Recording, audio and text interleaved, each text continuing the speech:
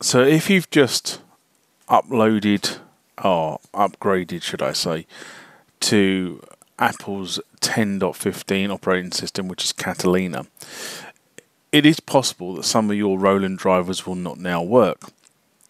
Now, I have tested a number of drivers on 14 and 15 and found them both to work okay. Um, but if you wanted to go through the process of upgrading to the 10.15, which is the specific Catalina drivers, this is what you need to do. First of all, you need to download the old 10.14 driver packs.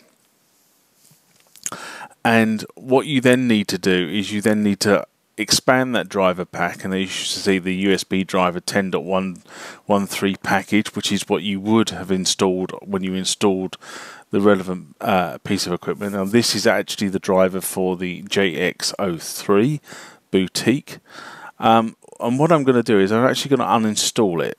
So you uninstall it by using the uninstaller that comes with the installer package. You double click on that it asks you if you want to uninstall the package. You click OK. It then asks you, tells you that you're going to un uninstall. Um, you shouldn't have the device connected, and I do actually have the device to the side of the computer, so I've just unconnected it, and I'm going to uninstall the package. There you go. Do you want to uninstall? And the answer is yes, I do. Okay. Now ask me for the relevant password, which I've got wrong. Let's try again. Uh, and then it's now uninstalled the package. Now it's going to ask me to restart the computer at this point, so I'm going to pause the recording, restart the computer, and then come back. And those observant of you will have noticed that the boutique driver has now disappeared from this bottom uh, side of the system preferences. So now we go through to the 1015 driver. And the way we do this, again, the JX03 is not plugged into the computer. So what we do here is we double click on the package. Uh, do I want to do this? Yes, I do.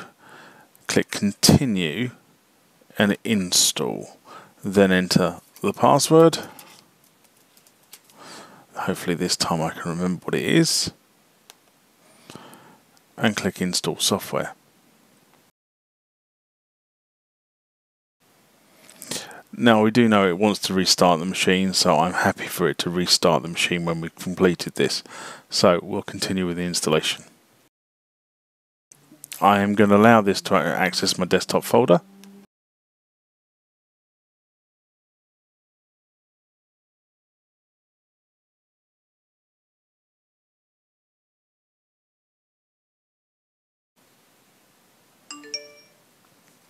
So now the driver has finished installing and we're going to restart the computer. So at this point I will click restart, but I'm going to pause the recording again and carry on. Now remember, up until this point the JX03 has been uninstalled, you leave it uh, unconnected, you leave it unconnected and again those observant among you will notice that this boutique symbol has now appeared.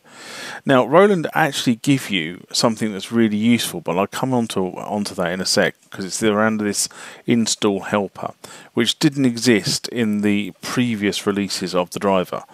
Um, but this is the point now where we re we connect the boutique device, in this case the JX03, and we turn it on. Now the next thing you need to do is you need to go and check the security.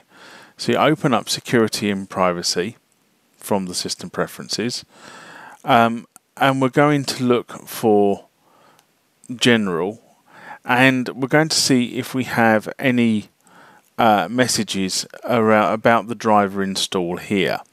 Now because I've had the Roland driver on this machine then I've already trusted Roland as a source but if I hadn't had the Roland driver on this machine, it is very possible that there would be a message sitting down there that says something along the lines of system software from developer Roland Corporation was blocked from loading with a button that says allow. And at that point, you can allow the software or the driver to be loaded into the system. But because I've already had it on the machine, or and I've got and I've got other Roland items on the machine, I don't have to go through that process. So at this point, effectively, the JX03 is installed on this machine.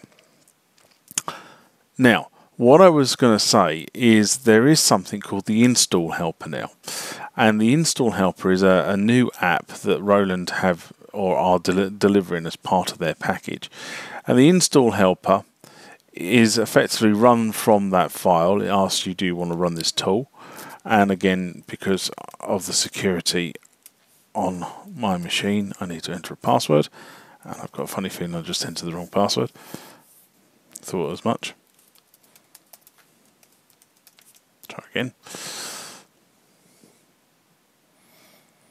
And effectively what this does is it goes off and looks at the driver installation and tells you whether the driver has been successfully loaded or not.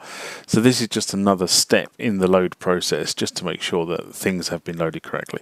But this has all worked out fine for me, so I don't have to do any more now. Um, and that is how you uh, get from the 10.14, 10.13 driver to the 10.15 driver on your Mac. If you liked the content of the video you've just seen, please give it a thumbs up. It just helps the YouTube algorithm with its selection process. If you want to leave a comment, please feel free to do that as well. Um, down below somewhere should be the ability to do that. Um, I do try to respond to all the comments that are raised on the channel. Uh, sometimes it takes me a few weeks because of what I'm doing, and I'm getting more and more and more comments and uh, questions raised on the channel, so it just takes sometimes a little bit of time to do a bit of research. If you want to be notified when I put more rants, mailbags, and videos about this sort of legacy tech and even modern tech on the channel, hit the subscribe button, hit that bell icon, and you'll be notified by YouTube when stuff happens. I try to publish at least two times a week, sometimes more, sometimes less. Until next time, bye bye.